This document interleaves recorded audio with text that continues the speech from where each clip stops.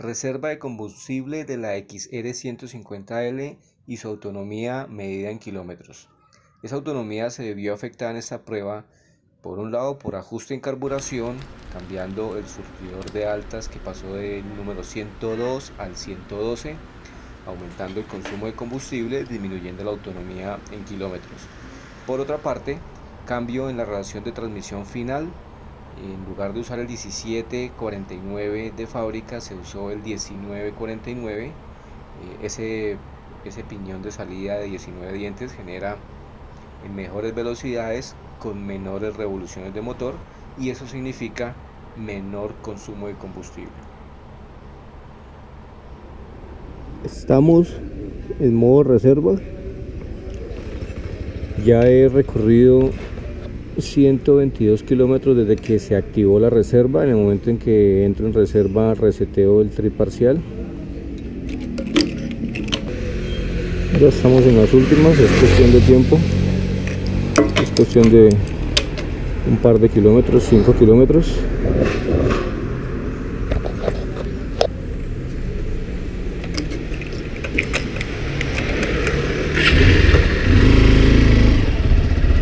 En este en este tramo que estoy contando 122 generalmente la reserva me dura 120 kilómetros más o menos. En ese momento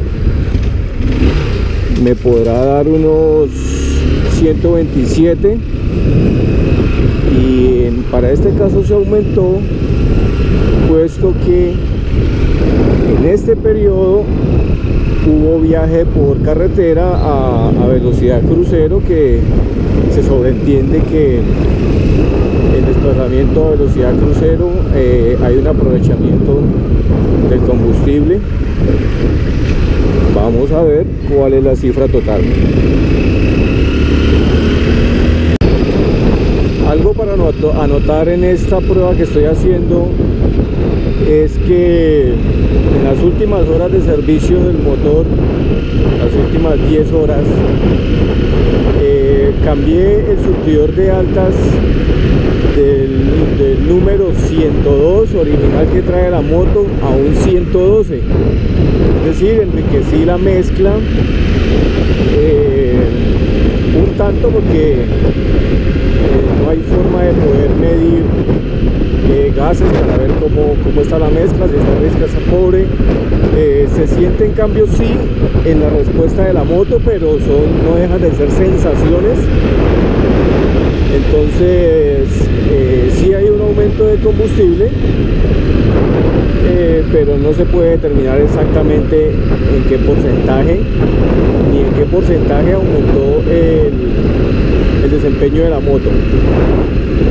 otro factor que entra a, relacionarse aquí es que la motocicleta eh, en este momento y, para el consumo del, combustible analizado la motocicleta le puse el piñón delantero número 19 es una adaptación que, que me permite lograr ya sea mejor velocidad final o conseguir la misma velocidad pero con menos revoluciones de motor.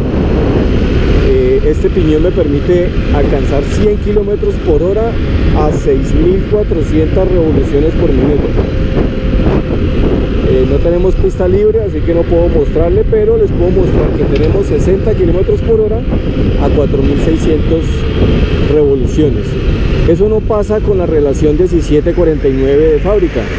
1749 de fábrica me da 100 kilómetros por hora a unos 7500 revoluciones o más. El piñón 19 me da lo mismo, eh, 1000 revoluciones menos, por lo menos.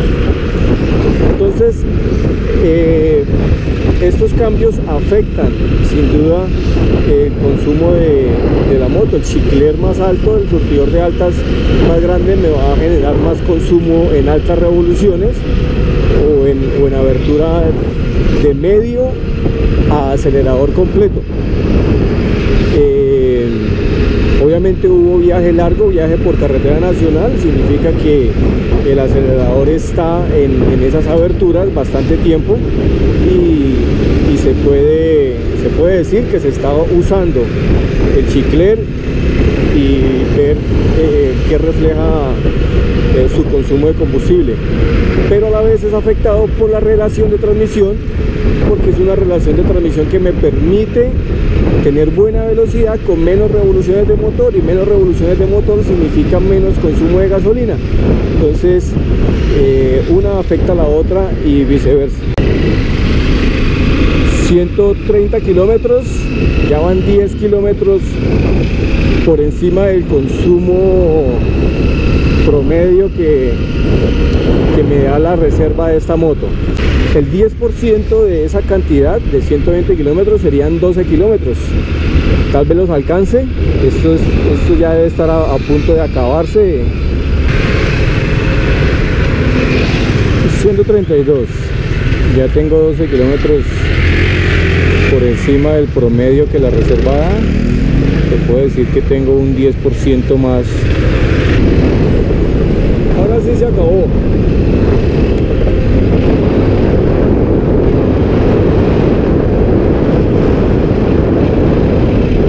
se acabó la gasolina.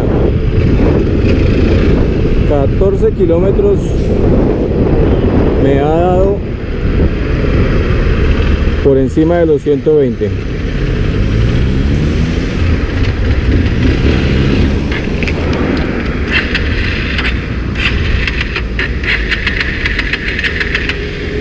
no me quedó no me quedó conchito ni para subir la moto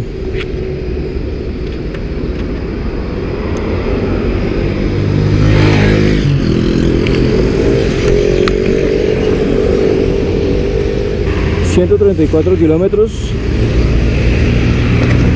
...estábamos... ...en la reserva de la moto... ...el tanque ya se secó... ...pero no significa que hayamos quedado varados... ...tomamos la precaución de eh, en un portaherramientas como este hecho en PVC con una tapa nada de seguridad pero pero efectiva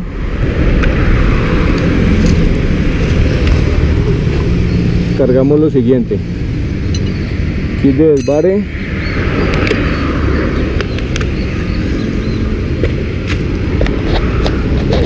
Este kit de múltiples herramientas.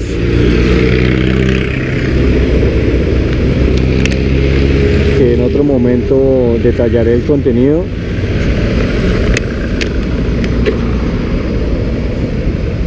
Y esto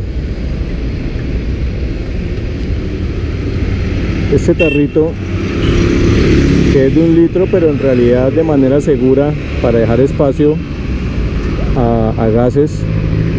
Eh, a esto le cabe y lo marqué con 0.23 0.24 0.3 galones es decir casi un litro. Lo marqué en galones es porque los surtidores aquí en Colombia lo expresan en galones no en litros entonces 0.25 es lo que le cabe a este tarro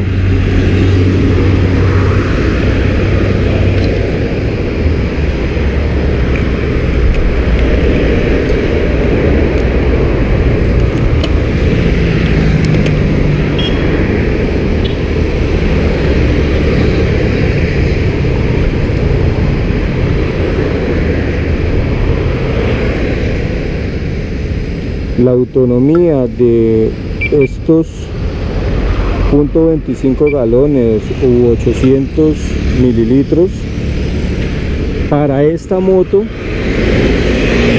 es de aproximados 35 35 kilómetros aproximadamente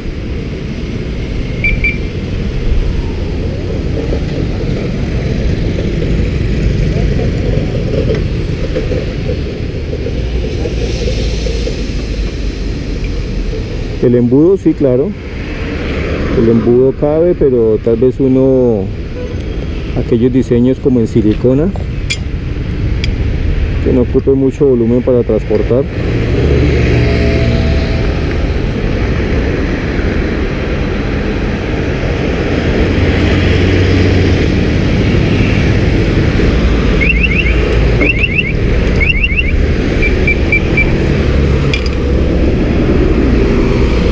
Sigue en reserva, seguirá en reserva porque apenas esto me da 35 kilómetros que pues en zona cercana a ciudad eh, significa un desvare sí o sí.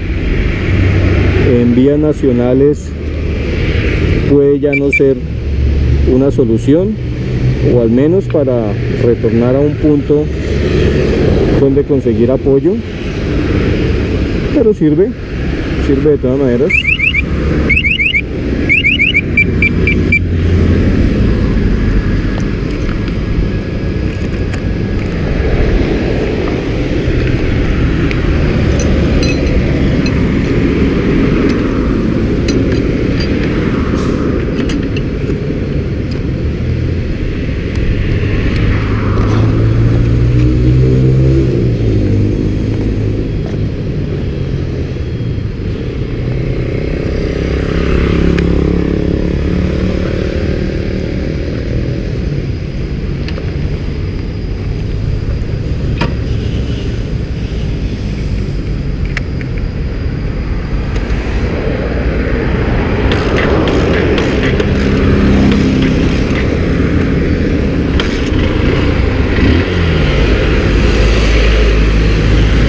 podría hacer una nueva prueba volver a cargar el tarro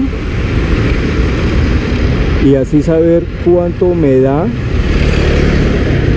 la autonomía promedio de estos .23-25 galones que en este momento estamos usando